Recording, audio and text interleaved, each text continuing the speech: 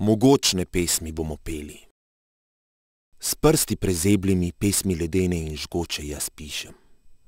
Pesmi, pijoče in trde, kakor je kladiva udar. Šel bom po ulicah, pesmi bom svoje kričal, dokler ne omagam. O, da bi stih moj bil kakor britev, ki reže srca. O, da bi bil kot udarec, ki trga meso raz telesa. Srečen bi bil in pisal vse dni, s prsti prezeblimi, pesmi upijoče in trde, ko kladiva udar.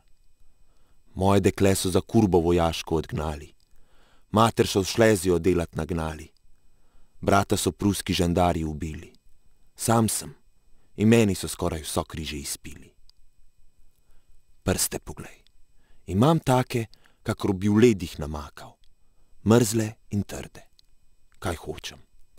Šel bom po ulicah, pesmi bom kričal, srca odpiral ljudem iz njihovih src bom toploto zajemal, da si bom prste prezeble ogrel.